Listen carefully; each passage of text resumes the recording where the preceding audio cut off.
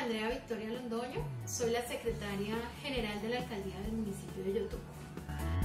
Ella realiza el acompañamiento en todos los procesos del alcalde, decretos, cartas, resoluciones, contrataciones. Además, nos pueden brindar información sobre todos los procesos correspondientes a las IAS. En el plan de desarrollo se apoyan a emprendedores constituidos legalmente en el municipio. Se han generado 122 solicitudes de ayudas que están próximas a entregar, entre ellas estufas y neveras industriales, máquinas de coser, sillas de manicure y pedicure. Debido a la situación del COVID, muchos de nuestros niños no tienen acceso a las plataformas virtuales, se han entregado 126.596 talleres complementarios a sus clases.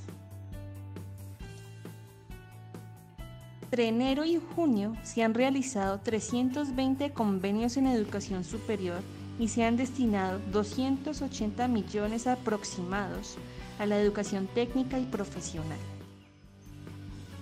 Espere, no se vaya. Algo muy importante que les tenemos que contar. Para este gobierno, en el plan de desarrollo, ha creado eh, el ítem donde vamos a entrar a trabajar por los animales en situación de calle del municipio. Entonces, quedó en esta secretaría la construcción, dotación, mantenimiento del centro de bienestar animal en el municipio.